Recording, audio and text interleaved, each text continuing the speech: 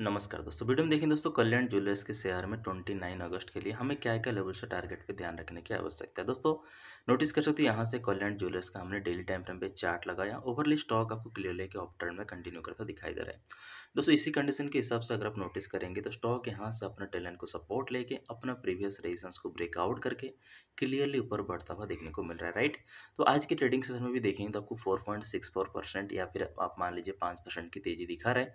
शानदार मूवमेंट आपको नज़र आ रहा है। दोस्तों, अगर बात करें यहाँ पे सपोर्ट लाइन की, एक तो सपोर्ट लाइन यहाँ पे जो हमने ड्रॉ किया है 187.4 का रहेगा सपोर्ट लाइन और एक सपोर्ट लाइन देखने को मिलेगा 209 में। साथ साथ दोस्तों ये जो ट्रेन लाइन आपको दिखाई दे रहा है, ये भी एक सपोर्ट लाइन रहेगा, इसको भी आप ध्यान में रखिएगा।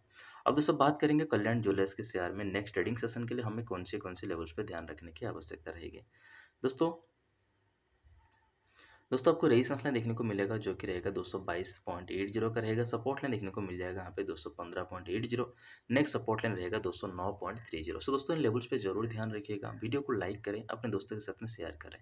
चैनल को सब्सक्राइब करके बेल आइकन दबा लीजिए। इस टाइप का और भी बहुत सारे इन्फॉर्मेटिव वीडियो आपको टाइम टू टाइम देखने को मिलता रहेगा। धन्यवाद दोस्तों।